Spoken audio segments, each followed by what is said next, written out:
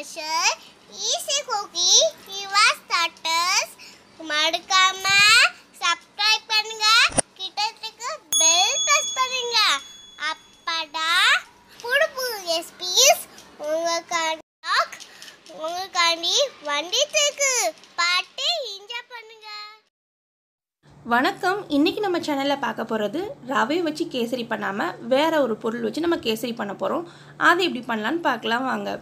ஒரு கடாய் எடுத்துக்கோங்க. கடாய் வந்து நல்லா சூடானதும் நெய் எடுத்துக்கோங்க. நெய் வந்து நல்லா உருனதுக்கப்புறமா நான் இன்னைக்கு என்ன எடுத்திருக்கேன்னு பார்த்தீங்கன்னா அவள் தாங்க. நாம் இன்னைக்கு பண்ண போகிறது அவள் கேசரி தான். அவளில் கேசரி நல்லா இருக்குமான்னு நினைக்காதீங்க. சூப்பராக இருக்கும். வாங்க பார்க்கலாம் ஒரு கப் அவள் எடுத்திருக்கேன். அவளையும் நெய்யும் போட்டு நல்லா வறுத்துக்கணும். அந்த நெய்யோட வாசனை அவள் வாசனை எல்லாம் நமக்கு வறுக்கும் போதே சூப்பராக இருக்கும். இது நல்லா ஆறுனதுக்கப்புறமா ஒரு மிக்ஸி ஜாரில் போட்டு ரவை பதத்துக்கு நல்லா நெரு நெருன்னு அரைச்சி எடுத்துக்கணும். திரும்ப நம்ம அவள் வறுத்தோம் இல்லையா அவள் வறுத்த அந்த கடாயிலேயே வந்து நெய் போட்டுக்கோங்க. நெய் கொஞ்சம் தாராளமாக போட்டுக்கோங்க. நெய் வந்து நல்லா உருனதுக்கு அப்புறமா முந்திரி திராட்சை தாளிச்சிடலாம். ஃபஸ்ட்டே நம்ம முந்திரி திராட்சை தாளித்து தனியாக வச்சுக்கலாம். ஏன்னா கடைசி போடும்போது இதோட வாசனமும் கொஞ்சம் நல்லாயிருக்கும் நம்ம த தாளித்த முந்திரி திராட்சையெல்லாம் தனியாக எடுத்து வச்சுக்கலாம். இந்த மீதம் இருக்கிற நெய் நெய்லேயே வந்து நம்ம வந்து கேசரி பண்ண ஸ்டார்ட் பண்ணலாம். இந்த நெய்யில் வந்து தண்ணி ஃபஸ்ட்டு வந்து அவல் கேசரி பண்ணுறதுக்கு தண்ணியோட அளவு நான் சொல்லிடுறேன். ஒரு கப் அவளுக்கு ரெண்டு கப் தண்ணி ஊற்றணும் இதுதாங்க ரேஷியோ ஒரு கப்புக்கு ரெண்டு கப் ஊற்றிக்கோங்க ஊற்றிட்டு இந்த தண்ணி வந்து நல்லா தர தர தரன்னு கொதிக்கணும். பாருங்கள் நல்லா கொதிச்சா தான் அவள் வந்து ரவை மாதிரி தான் கொஞ்சம் வேக லேட் ஆகும். அதனால தண்ணி வந்து நல்லா கொதிக்க விட்டுக்கோங்க. கொதிக்கவும் அடுப்பை சிம்மில் போட்டுட்டு அவளில் பாருங்கள் நான் எப்படி நெரு நெரு ரவை கணக்காக அடித்து எடுத்து வச்சுருக்கேன்னு சொல்லிட்டு இந்த அடுப்பில் வந்து இந்த அவலை போடும்போது பார்த்தீங்கன்னா கிளறி விட்டுட்டே போடுங்க. இல்லாட்டா கட்டி ஆயிரும். எப்படி ரவை நமக்கு கட்டி ஆகும்?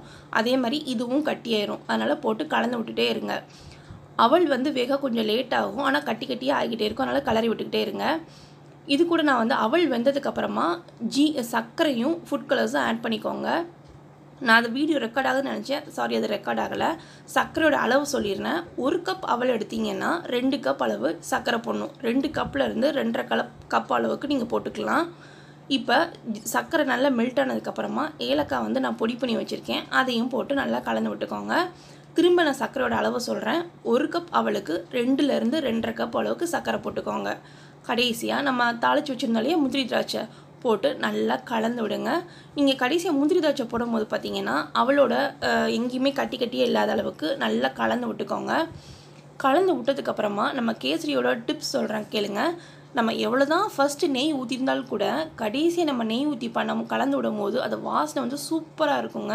ஏன்னா நெய் வந்து நல்லா மேலேயே மிதக்கிறாப்பில் இருக்கும். அதனால் நெய் கொஞ்சம் அதிகமாக விடுங்க லாஸ்ட்டு ஊற்றி கலந்து விட்டுக்கோங்க. நம்ம வீட்டுக்கு கெஸ்ட்டு வந்துட்டாங்க ரவை இல்லைன்னு கவலைப்படாதீங்க. இருக்கிற ம அவளை வச்சு கூட நம்ம பண்ணலாம். கேசரி அந்த அவல் கேசரி வந்து வித்தியாசமும் டேஸ்ட்டு சூப்பராகவும் இருக்கும். ட்ரை பண்ணி பாருங்கள் உங்களுக்கு ரொம்ப பிடிக்கும். ட்ரை பண்ணி பார்த்து உங்கள் கமெண்ட்டை கீழே மறக்காமல் ஷேர் பண்ணுங்கள் தேங்க்யூ இந்த வீடியோ பிடிச்சிருந்தா லைக் பண்ணுங்க. ஷேர் பண்ணுங்க